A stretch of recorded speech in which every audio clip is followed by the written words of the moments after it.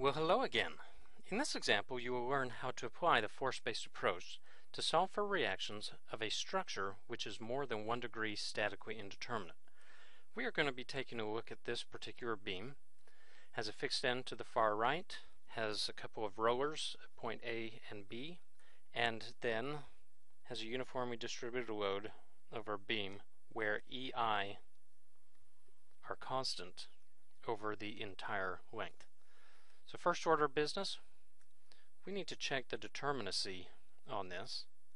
So let's go ahead and label the reactions RAY, RBY, RCY, RCX, and MC. One thing that you could do is very quickly recognize that you could solve for RCX simply by summing forces in the x direction. Okay, but let's run through the equations for determinacy check. We have a total number of five unknown forces. We haven't made any cuts, so we have one structural piece. We have three equations of equilibrium for each structural piece, giving us a total of three equations of equilibrium. So 5 minus 3 will result in 2 degrees statically indeterminate, which means I've got to select two redundant forces. I've already made a comment that RCX is something we could solve for just using equilibrium. So I would have to choose any two of the remaining four. Now as always, I want to select redundants which will allow me to retain simple type of structures. And so if I choose RAY and RBY, as the redundants. Then what I'm left with, when I remove those redundants, is I'm left with these nice cantilever beams. Those are easy to deal with. I know I'm going to be able to use beam charts to help me along with this here. So let me sketch the deflected shape.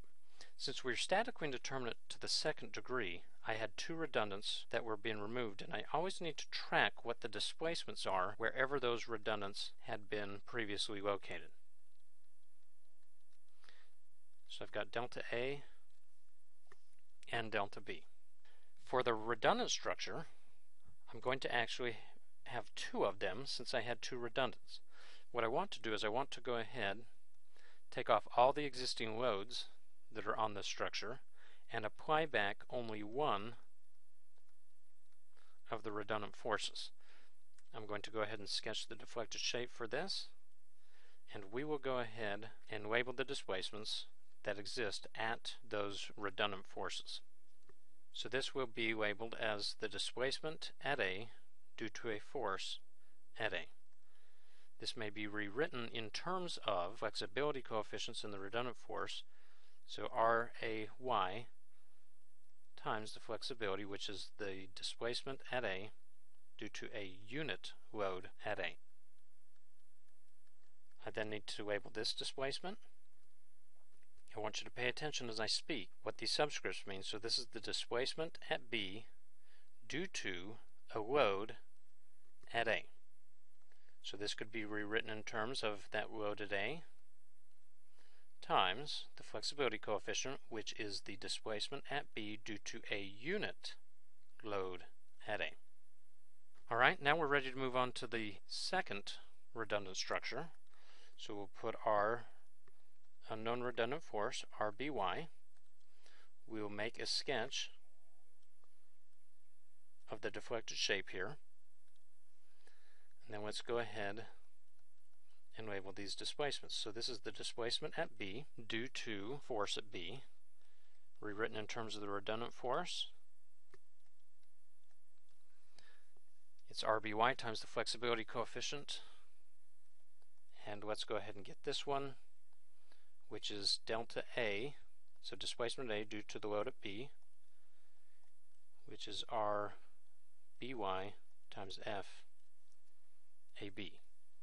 Once we've got that, and we have been very explicit in the sketching of our redundant structures, we can go ahead and get our compatibility equations simply by summing up what is going on at each of the individual locations. So what I want to do is I want to sum up what is happening at point A, so that would include this as well.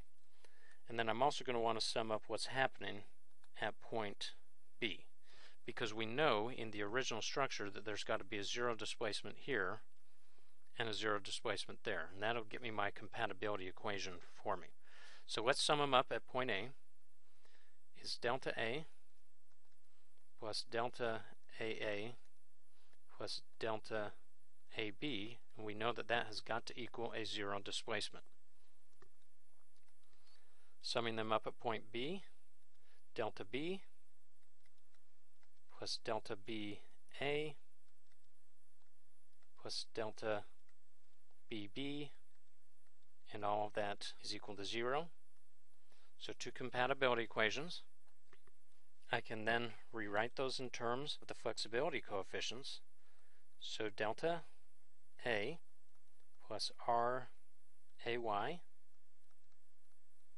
FAA plus RBY FAB, that's equal to 0. Delta B plus RAY FBA plus RBY FBB equals to 0. And that'll be the final form that I want those to be present in. Now before we start making any calculations on these, I want us to be very clear in our minds that we are going to be looking at these flexibility structures, and flexibility structures are the ones that simply have unit loads instead of the redundant forces placed upon them. So I'm going to go ahead and label this here. So the displacement at A due to a unit load at A, displacement at B due to a unit load at A, and then flexibility structure number two, which is the displacement at B due to a unit load at B, displacement at A due to a unit load at B. We will move through the deflection calculations rather rapidly because we are going to be able to use beam charts to assist us in this. So for calculating this delta A,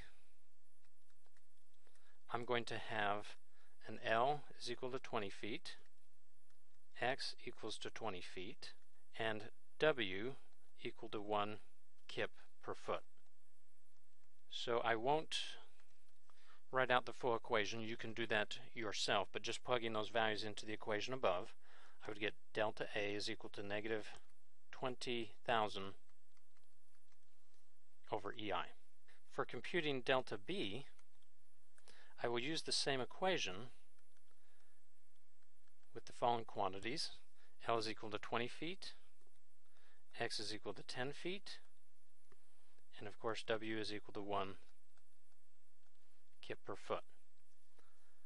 You plug that in, delta B will compute out to be negative 7083.3 over EI. We now want to use beam charts to evaluate flexibility structure number one. So for FAA, we will use L is equal to 20 feet, X is equal to 20 feet, and P is equal to negative 1. Now why negative 1?